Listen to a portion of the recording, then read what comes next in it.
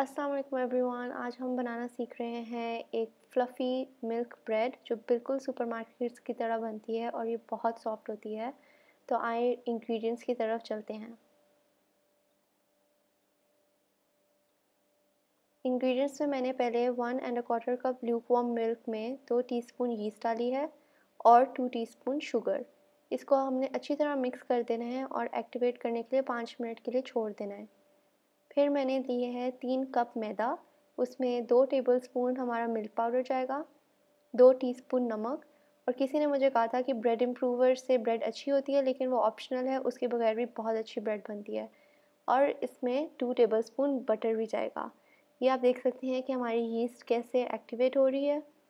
जब यीस्ट आपकी एक्टिवेट हो जाए, पाँच मिनट बाद आपने इसको मिक्स करके अपने ड्राई इंग्रेडिएंट्स में डाल देना है। और इसको मैं मिक्सर को चला दूँगी फॉर ऑलमोस्ट टेन मिनट्स आप इसको हाथ से भी नीट कर सकते हैं, इसमें कोई मुश्किल नहीं है, लेकिन आपको भी दस मिनट के लिए मिनिमम इसको नीट करना होगा।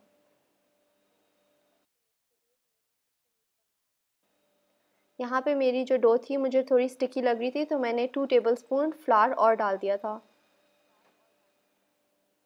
ये देखिए, हमारी डो की कंसिस्टेंसी ये होनी चाहिए, ये स्टिकी थोड़ी होगी डो हमें इतनी स्टिफ डो नहीं चाहिए, थोड़ी स्टिकी डो होनी चाहिए।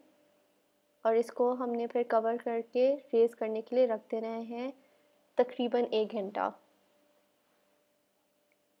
एक घंटे के बाद आपने थोड़ा सा फ्लार डस्ट करना है, मैदा डस्ट करना है अपने वर्क सरफेस पे और हम ये डो निकाल के एक स्क्वायर शेप बना लेंगे।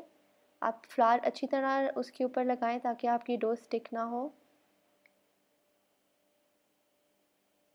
जब स्क्वेयर शेप बन जाए आपकी, आपने इसको बिल्कुल फ़ोल्ड करना शुरू करना है और अच्छी तरह आपने उसकी साइडें भी अंदर पिंच करनी है ताकि एक हमारी अच्छी लोफ वाली शेप आ जाए।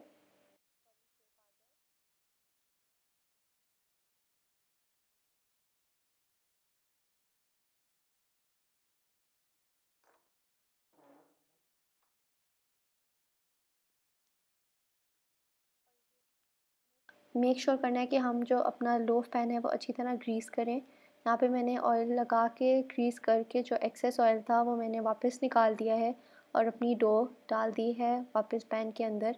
हम इसको तब तक रेस करेंगे जब तक एक इंच पैन के ऊपर ना आ जाए।